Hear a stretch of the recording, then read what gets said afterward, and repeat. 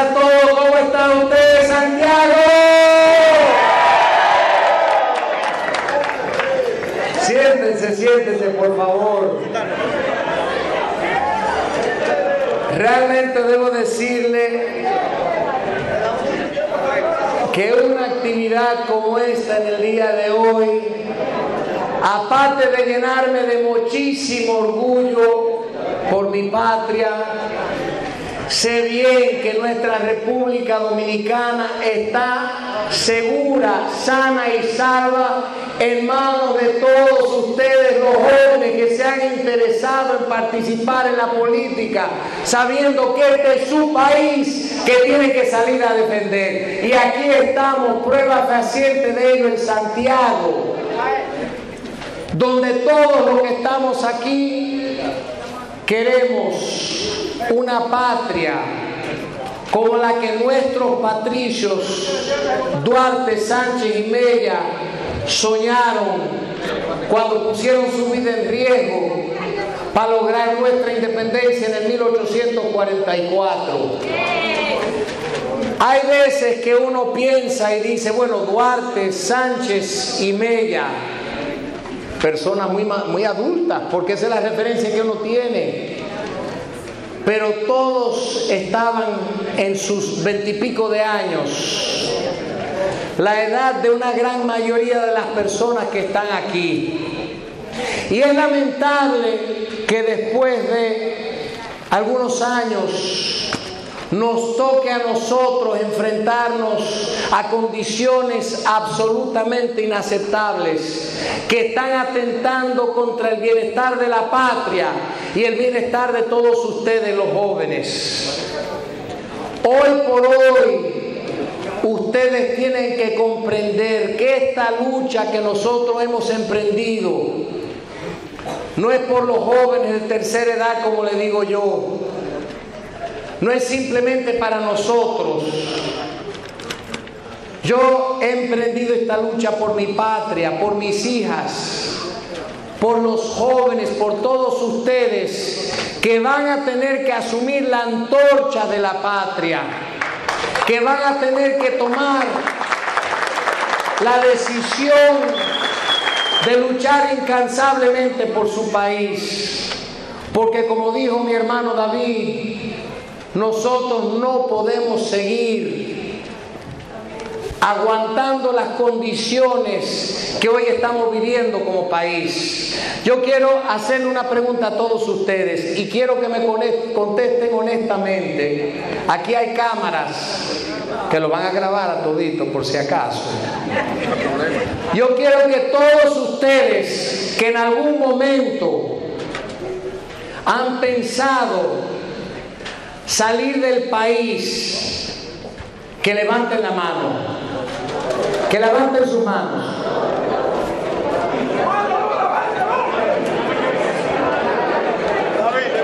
Graben, graben eso, yo quiero que vean la cantidad de manos alzadas aquí. Todos aquí ustedes que han tenido la idea en algún momento de salir de su país.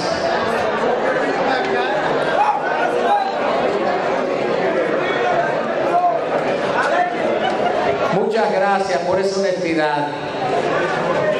Eso les quiero decir a ustedes hoy, que es indignante ver que nuestra patria, nuestra República Dominicana, no defiende los intereses de sus ciudadanos. Que los gobernantes que se han preocupado solamente buscando el enriquecimiento personal, se hayan olvidado del pueblo hayan relegado el pueblo a la miseria, las condiciones que hoy han causado este fenómeno, de que todo el mundo piensa que es mejor vivir fuera de su país. Ya tenemos cerca de dos millones de dominicanos que viven entre Estados Unidos, entre Europa, entre las islas. ¿Y por qué?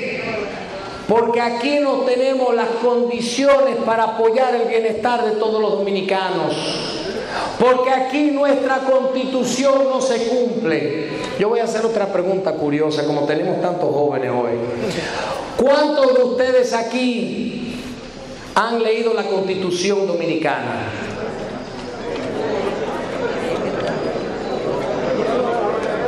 Yo creo que más de las personas que tenemos en el Congreso, por lo menos, porque ninguno de ellos la ha leído. No sé si ustedes vieron el video de Carlos Durán, cuando le preguntaron a los diputados cuántos artículos tiene nuestra constitución. Y creo que uno fue que le contestó. Y esas son las personas que están legislando. Esas son las personas que crean las leyes que supuestamente nosotros tenemos que obedecer. Pero ninguno de ellos conoce la constitución y ninguno de ellos conoce la realidad que vive la República Dominicana. Porque aquí llegar al poder es simple y sencillamente una manera de ganarse la vida rápido, de buscarse unos chelitos en dos años y en cuatro años. Pero nadie llega al poder pensando en que van a servirle a su patria. Nosotros tenemos la obligación de responder por todos los dominicanos, no solo un grupito. Porque si nos ponemos a pensar cuántos funcionarios son, cuántos diputados, congresistas, aquí el gobierno ha crecido, el sector público los ha llevado a 700 mil empleados en un país de 11 millones de habitantes. ¿Qué vamos a hacer con los haitianos?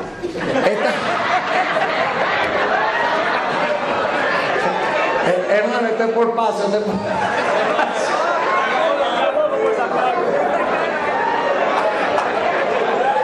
La, próxima pregunta era cuáles son las inquietudes de ustedes, ya tenemos una. Pero vamos a llegar ahí, se lo prometo. Se lo prometo. Porque aquí tienen el único candidato verdaderamente nacionalista. El único que va a sacarlo a todito.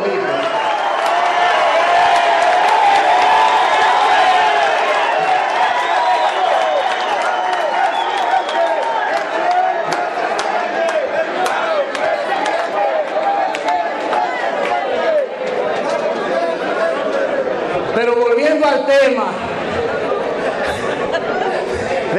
de las condiciones del país, no, la verdad que uno se encuentra con cada cosa. Le di, mire, nosotros tenemos una gran responsabilidad. Hemos tenido demasiado malos gobiernos y demasiado malos gobernantes. Y lo que pasa es que ustedes los jóvenes ahora le han dado un ejemplo muy malo a seguir. Yo le he preguntado a muchos jóvenes y le digo, ¿cuál va a ser la carrera que tú vas a escoger? Y la gente me dice, es que no importa la carrera, porque aquí hay tres formas de ganarse dinero. El narcotráfico, la pelota y la política. Eso piensan. Porque ¿cómo nosotros podemos permitir que ustedes, los jóvenes del país, se dediquen a estudiar en la universidad? Que se pasen las noches trasnochándose para poder superar los exámenes. Y después que se gradúen le dicen, no, pero usted no tiene experiencia. No, mire, pero lo que pasa es que no hay suficiente trabajo en este país. Nosotros tenemos que crear las condiciones para que todos tengamos empleo. Pero...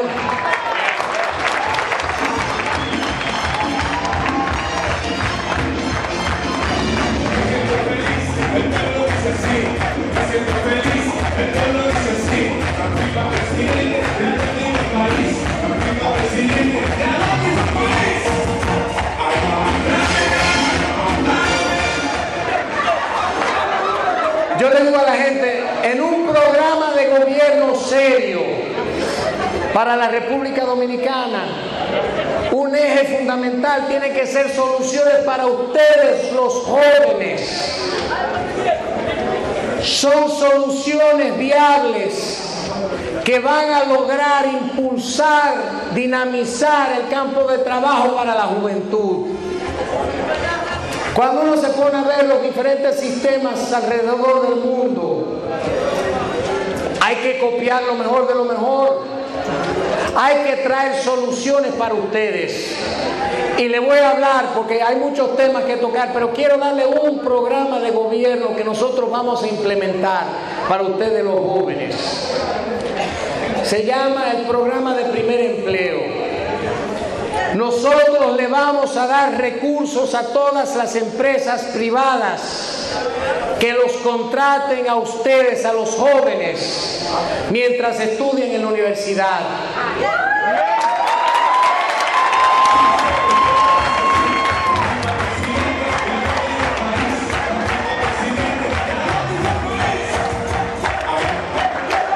En ese programa de primer empleo, el gobierno le va a pagar el 50 o el 60% del salario de ustedes. ¿Para qué? Para que cuando ustedes se gradúen, ustedes ya tengan la experiencia necesaria para insentarse al campo laboral. Para que ya más nunca pueda un joven tener una puerta cerrada dentro de una empresa simplemente porque no tienen experiencia. Nosotros somos los responsables de que ustedes tengan trabajo digno, de que cuando ustedes se gradúen de la universidad, ustedes encuentren empleo de una vez. Y el gobierno invirtiendo en esa juventud también va a recibir un retorno porque desde que ustedes se gradúen van a aportar al Estado por medio de los impuestos que ustedes pagan. Entonces es una situación donde todo el mundo va a ganar, donde ustedes van a lograr el sueño que ustedes tienen, poder trabajar. Pero vamos a crear programas universitarios donde ustedes puedan recibir financiamiento para sus estudios. Porque queremos que ustedes, si quieren estudiar medicina, pueden estudiar medicina.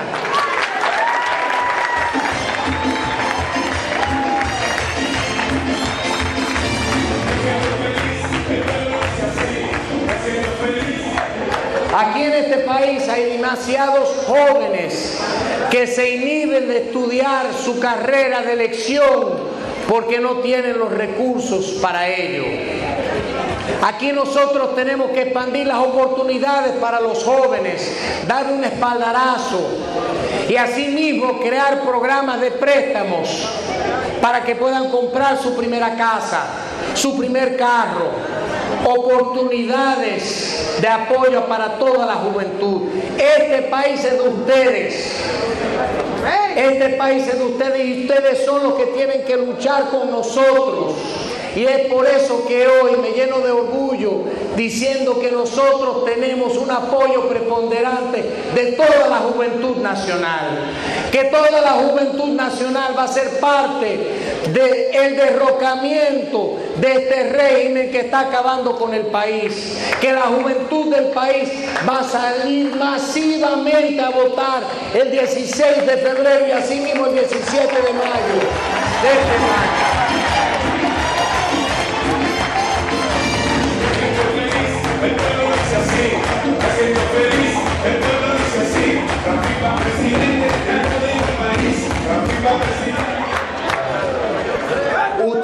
Representan un bloque masivo de votantes.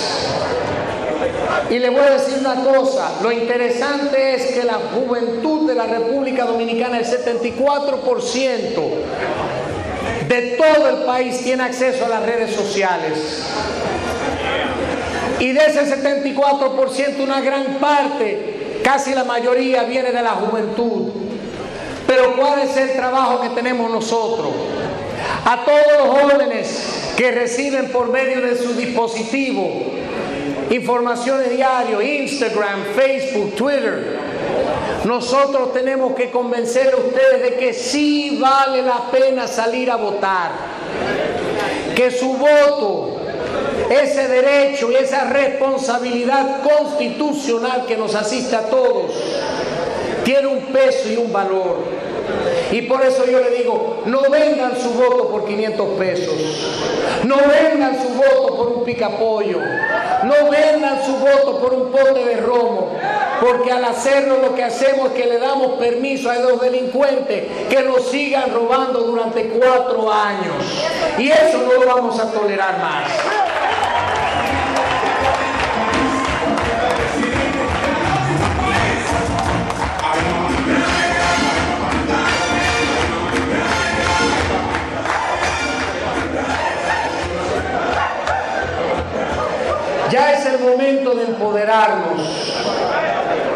Tenemos tantos problemas y tantas situaciones que resolver. Pero para resolver esos problemas siempre he dicho que tenemos que empezar a nivel micro. Tenemos que empezar esa gran transformación con pasos pequeños. Este 16 de febrero tenemos unas elecciones municipales donde tenemos que salir a apoyar candidatos que representen esa transformación, que representen esa nueva generación políticas de personas que incursionen en la política, no para buscarse dos pesos, sino porque desean entregarse al trabajo de la patria porque desean aportar al mejoramiento de su país. Y somos nosotros los que tenemos que exigir eso de nuestros gobernantes. Yo creo que todos nosotros merecemos saber cuáles son las posturas de todos los candidatos. Y es por eso que hoy, por tercera vez, voy a hacer un llamado de aquí, desde Santiago, a Leonel Fernández, a González, Gonzalo Castillo, al Penco, a Luis Abinader, que, óigame, que le den la cara al pueblo, que se atrevan a enfrentarse a Ramfi Domínguez Trujillo en un debate.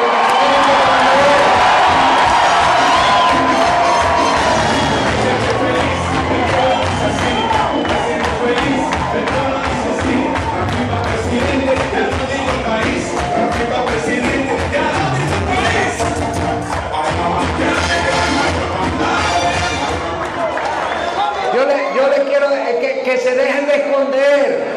Ya van tres veces que lo invito y cada vez que le hacen una pregunta o se hacen los sordos o hablan, tartamudean y dicen que están esperando una invitación. Señores, yo le digo y lo repito, ninguno se va a atrever a enfrentarse a Ramfi Domínguez Trujillo. ¿Usted sabe por qué? Porque aquí hay personas que hablan del problema haitiano, de la migración, que dicen que ellos son los más nacionalistas cuando hace cuatro años estaban diciendo en una universidad que ellos fueron beneficiados, que su familia fue beneficiada con la migración, porque no tienen pantalones para enfrentarse a los organismos internacionales que quieren ingerir sobre nuestra bandera e imponernos su condición migratoria. Aquí hay otros candidatos que le abrieron la puerta al narcotráfico, Lionel, que después de eso han abierto un desenfreno económico con robando a dos manos, Lionel, y que después de eso ahora quiere venir a victimizarse, acusando al fraude cuando fue el príncipe del fraude desde el poder.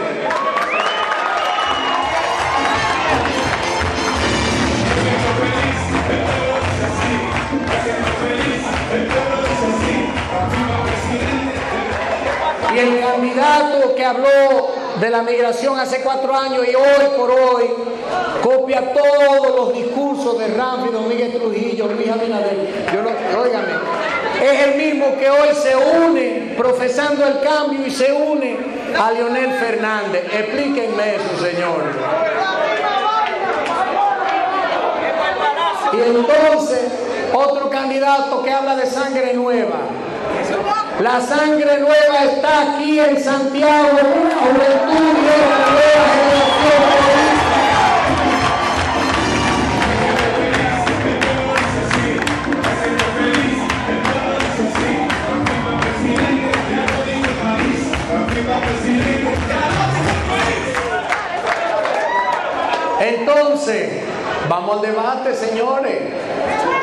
vamos, vamos a conocer la postura de cada cual. Vamos a ver quién se atreve. Por tercera vez lo hago.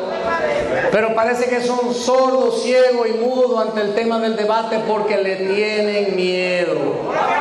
Porque le tienen miedo no solo a Ramfi Domínguez Trujillo, sino que le tienen miedo a todos los dominicanos que ya se empantalonaron y no quieren escuchar esos mareos, mareos y mareos de los candidatos. Porque sabe que se van a tener que enfrentar a, a preguntas duras, fuertes y curveras. Pero ya el pueblo se ha cansado y sabe lo que viene. Nosotros somos los que tenemos que exigir condiciones de seguridad, como dice nuestra constitución.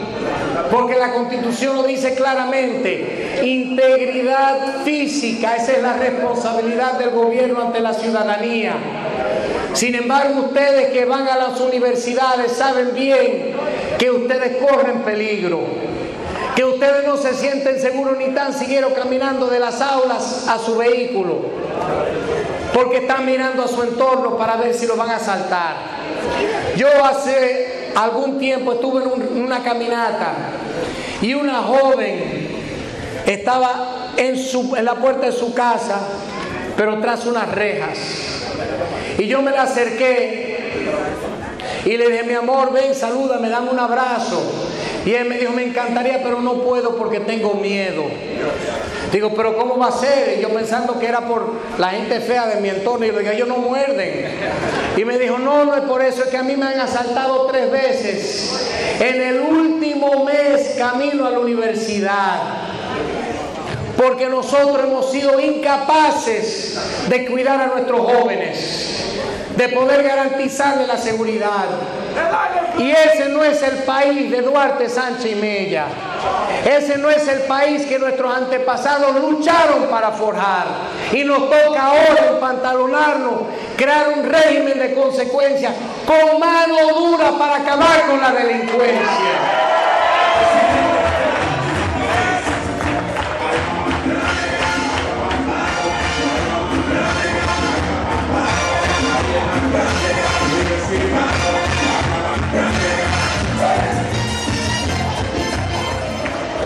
Y así vamos a aplicar esa normativa porque quien le tiene miedo a la mano dura le tiene miedo al orden, a la disciplina, a las sanciones de los gobiernos responsables y democráticos. Y eso es lo que tenemos que hacer nosotros. Trabajar en aras de defender nuestra constitución, nuestra democracia, pero imponiendo el orden y la disciplina para sí mismo impulsar y dinamizar la economía y desarrollar el bienestar colectivo para todos los dominicanos y todas las dominicanas de la República Dominicana. Y ahí llegamos nosotros para demostrarles cómo se hace un gobierno sano y salvo. Este año le hemos, le hemos, denominado el año de la restauración de la República Dominicana. Porque el próximo 17 de mayo daremos inicio a este gobierno de patria, donde defenderemos los intereses de todos los dominicanos, donde saldremos a la calle a darle la cara a todos los dominicanos a enfrentarnos a todos los males que están acabando con la patria.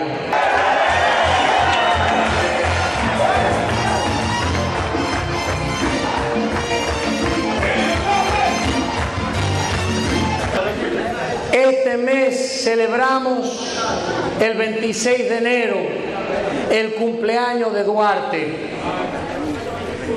un hombre que entregó su vida al engrandecimiento de nuestra patria, que entregó su vida para que hoy nosotros pudiésemos disfrutar de la soberanía, de la independencia, de la emancipación de nuestra República Dominicana.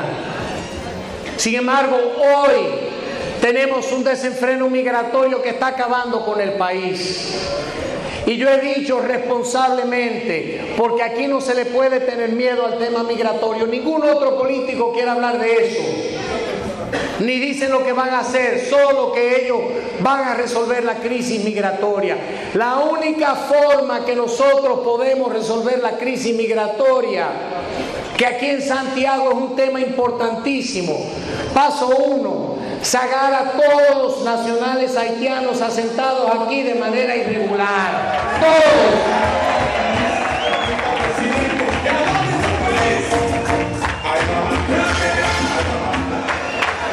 Paso dos. Los que quieran venir a trabajar lo harán bajo el visado de trabajo para saber dónde están ubicados como lo hacen en todos los países democráticos, disciplinados y ordenados, para que así mismo aporten al Estado pagando impuestos, porque si van a recibir beneficios de salud y de educación y demás, tienen que aportar a nuestro Estado. Y luego de eso vamos a hacer cumplir la ley 80-20, porque una gran parte de los empleos de los jóvenes se van porque aquí no hay control, ley y orden. Y la ley 80-20 exige que la composición de cualquier empresa sea 80% dominicano y 20% de cualquier país del mundo, pero lo vamos a empezar a respetar como corresponde.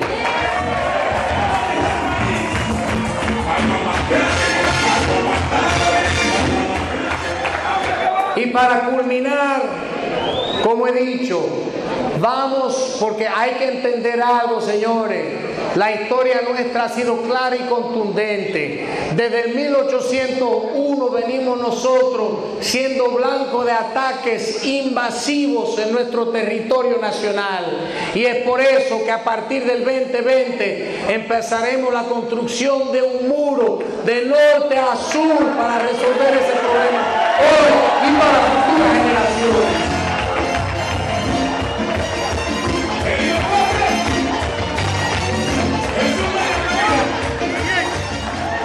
Quiero aclarar para que estemos claros,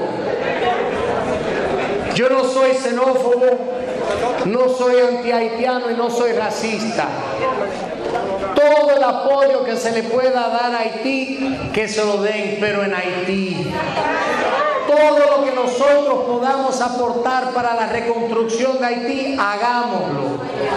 Yo le exhorto a todos los organismos internacionales que se preocupan tanto por imponer sus criterios aquí, que lo impongan en Haití, que aporten a la reconstrucción de Haití para que no tengan que venir para acá.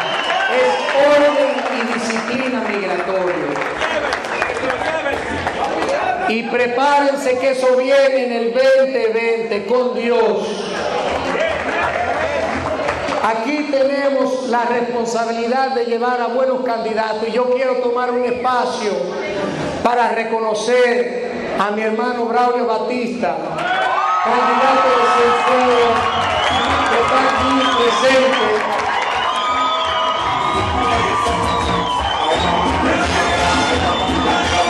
Y aportado con esta gran actividad. Ustedes le parece que están bien.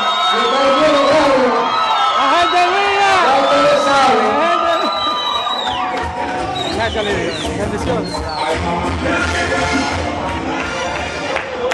Y quiero también reconocer a una persona a quien quiero mucho, no solo porque es un gran amigo, un gran doctor con un gran corazón, sino que es un gran nacionalista y que no tiene pelo en la lengua para decir las cosas. El próximo diputado de Santiago, el doctor Ernesto Falú.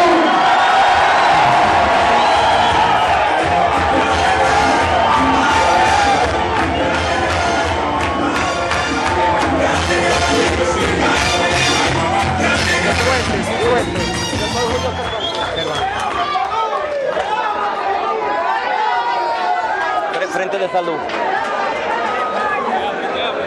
Aquí mismo Yo soy candidato a diputado, no es justo. Ay, no, hermano, no, lo que pasa es que él vino y aportó aquí para muchísimo, muchísima gente. Le tenemos que dar un reconocimiento. Yo se lo voy a mencionar. Ok, ahora le voy a mencionar. También quiero reconocer al Frente de Salud con Ramfis y el doctor Julio Cervantes, ¿dónde se encuentra? Que están aquí apoyándonos siempre. Un fuerte aplauso para ellos.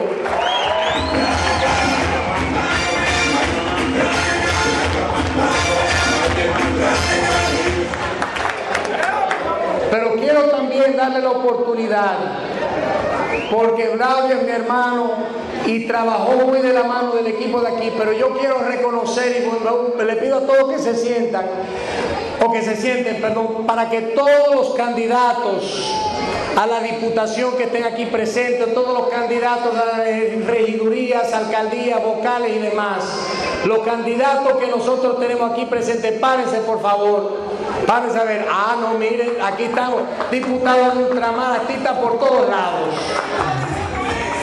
Un fuerte aplauso para ellos, Luis El Caño, de la provincia de Miramar. A, to, a todos, todos, dense la vuelta para que ustedes lo conozcan. Estos son los candidatos que ustedes tienen que llevar a los cargos correspondientes porque merecen la pena. Son candidatos que están dando la cara por su patria, que están trabajando desinteresadamente, que están haciendo lo posible y lo imposible para llevar su candidatura hacia adelante. Pero yo lo que le exhorto hoy, aquí a todos ustedes, a toda esa juventud dominicana aquí en Santiago, que no nos quedemos de brazos cruzados. Este año estas elecciones son determinantes. Tenemos que salir a la calle como candidatos y todavía hay tiempo para los candidatos congresuales, los que se quieren apuntar, queremos gente nueva. Pero para los candidatos municipales y congresuales, salgan a la calle como candidatos, salgan a la calle como ciudadanos para dar el mensaje de fe y de esperanza, para hablar de todos los candidatos. Salgan a votar el próximo 16 de febrero y el 17 de mayo. Salgan a luchar por su patria, lean su constitución, aprendan las leyes de la República Dominicana, fájense estudiar para engrandecer a su patria, hagan todo lo que ustedes tengan que hacer, pongan de su parte que nosotros vamos a poner la nuestra, vamos a luchar por todos ustedes y juntos vamos a transformar la República Dominicana en el ensueño de todos nosotros, todo por la patria. Que Dios me lo bendiga a todos y que viva por siempre la República Dominicana.